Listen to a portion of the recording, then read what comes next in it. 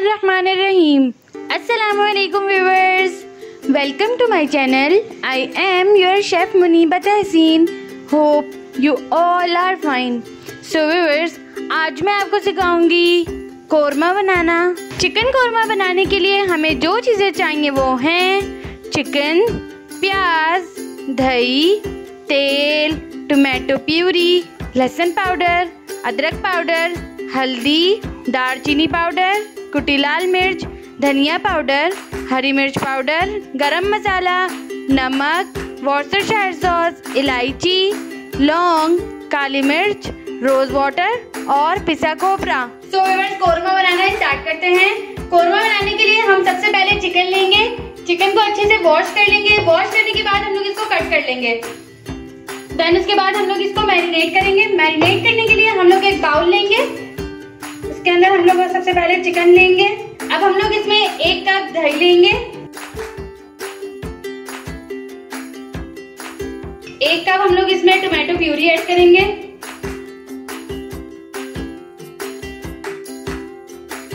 One tablespoon हम लोग इसमें लहसुन पाउडर लेंगे। वन टेबल स्पून अदरक पाउडर आप लोग चाहें तो लहसुन अदरक का पेस्ट भी यूज़ कर सकते हैं। इसके बाद हम लोग इसमें वन टीस्पून हल्दी लेंगे। Half teaspoon cinnamon powder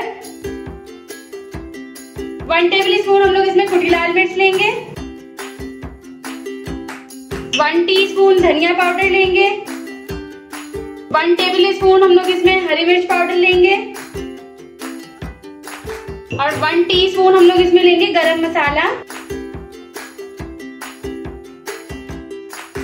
फिर हम लोग इसमें few drop of Worcestershire sauce लेंगे. इसमें हम लोग लेंगे छोटी इलायची। चार हम लोग इसमें लेंगे लौंग। अब हम लोग इसमें लेंगे हाफ़ टी स्पून नमक और छह काली मिर्च के दाने। अब हम लोग इन सब चीज़ों को अच्छे से मिक्स कर लेंगे।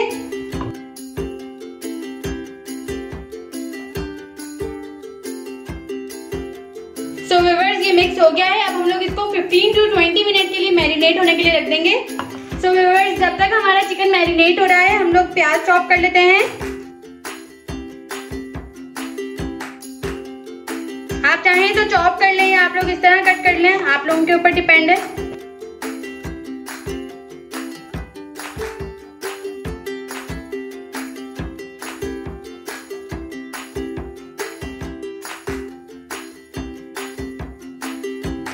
विवर चिकन मैरिनेट हो गया है और प्याज भी कट हो गई है।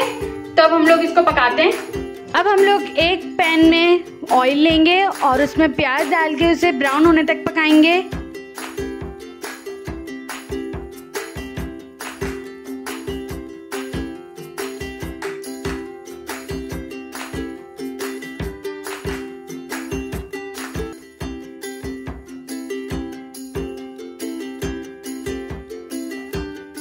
जब प्याज ब्राउन हो जाएगी तो उसे हम लोग ऑयल से निकाल लेंगे।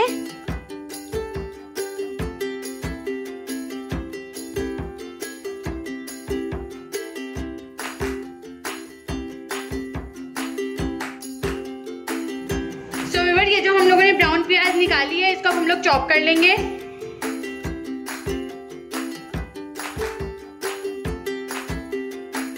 अब उसी ऑयल में मैरिनेटेड चिकन को शामिल करेंगे।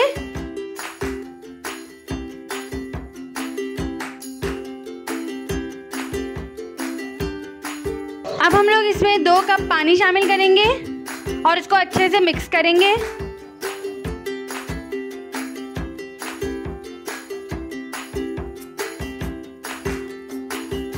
अब हम इसमें एक कप पिसा हुआ खोपरा शामिल करेंगे और उसको अच्छे से मिक्स कर लेंगे।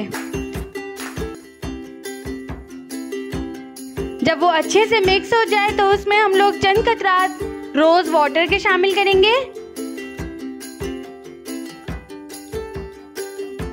उसके बाद हम लोग इसे ढक कर पकने के लिए रख देंगे।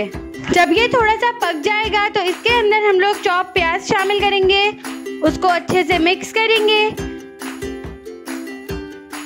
इसके बाद हम लोग इसको 30 टू 35 मिनट के लिए पकने के लिए रख देंगे।